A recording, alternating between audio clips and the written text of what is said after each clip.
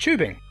This series of six quick tech snacks is designed to remove that nagging fear that you're missing some important detail about what's involved in building a custom loop. You essentially have two decisions to make when selecting tubing thickness and materials. The choices are purely a matter of looks and practicality. Tubing has no meaningful impact on cooling performance.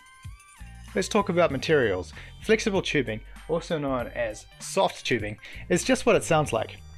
It's important for it to be made of the right type of stuff, but you can get it from a reputable water cooling supplier and you're good.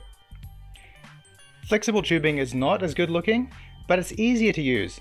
Just don't bend it too tight and kink it. If you want hard tubing, you'll run into PETG and acrylic. PETG is easier to cut and bend. Acrylic prides itself on its superior crystalline clarity. There are some more exotic, hard tubing materials out there, such as copper.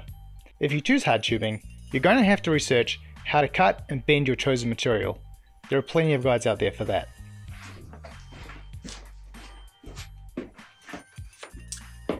Thickness. Tubing thickness is measured by two numbers, OD and ID, which stand for outer diameter and inner diameter. The most common thickness for soft tubing is 10 over 13 millimeter, IDOD. This is sometimes called 12.7 by 9.5 millimeter IDOD, or using imperial measurements 3 by 8 by half inch IDOD. The most common thickness for hard tubing is 10 over 12 millimeter IDOD. This is often just called 12 millimeter OD, or an imperial 7 over 16 inch OD. Tube fittings will tell you the OD and ID they support, if you stick with the most common tube thickness, you can be sure that your preferred flavor of fitting will be available for your tubing.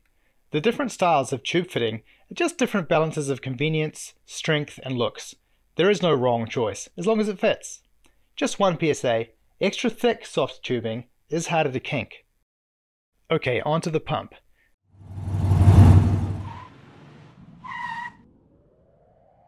The pump pushes the liquid around the loop. The pump needs to be positioned physically lower than the reservoir.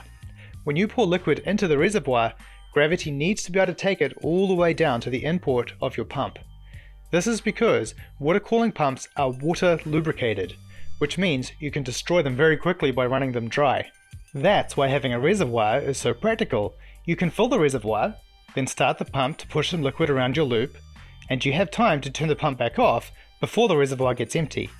Repeating this until liquid gets all the way around the loop, oh, all the way around the loop and starts flowing back into the reservoir is the basic principle of how you fill a loop. You do also need to get the air bubbles out of your loop before using your PC. Removing trapped air is an essential part of filling the loop, but I don't want to use your time up with that right now. I recommend watching a variety of loop filling and draining videos before building your first loop because this is where custom cooling can be a bit of an art form, and you'll benefit from getting multiple perspectives. There are also a lot of pump and reservoir combos available, and even pump and water block combos. If you do use one of these, just make sure you put it the right way up so that the pump is at the bottom. Which pump you choose doesn't matter much. To a point, higher flow rates yield better temperatures, but any modern pump will provide a high enough flow rate for all but the biggest and most complicated custom loops. If in doubt, you can't go wrong with, an official D5 pump. At the end of the day though, your choice of reservoir and pump is almost entirely a matter of convenience and style.